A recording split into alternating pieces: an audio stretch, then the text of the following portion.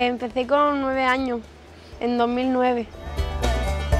En 2013 ya me hice la mínima para ir al europeo. Fui, gané oro, gané una plata y dos cuartos puestos en relevo y en 100 metros. Y luego, después del Campeonato de Europa, ya ha sido el Campeonato de España absoluto, que ha sido mi segundo campeonato absoluto. Y me colgué un bronce en 200 y un oro en 100, con las mayores y no sé, disfruté un montón.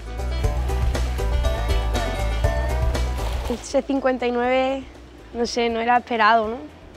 Soy muy joven, pero que todavía queda. Lo que más me gusta es competir y ver a mi amiga de por ahí y no sé, también disfruto un montón compitiendo. En una competición pues la mente la tengo en blanco, ¿no?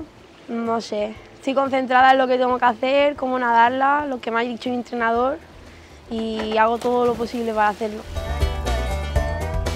Para mí supone mucho, yo cuando era pequeña no me imaginaba llegar a este nivel en natación no sé, estoy muy contenta por estar en el equipo nacional y conseguir medallas, luchar por todo. Eh, mi objetivo principal es ir a una Olimpiada, ¿no? El objetivo de cualquier deportista. Y no sé, me gustaría ir a Río de Janeiro para ver cómo son las Olimpiadas y luego ya en Tokio y a algo más.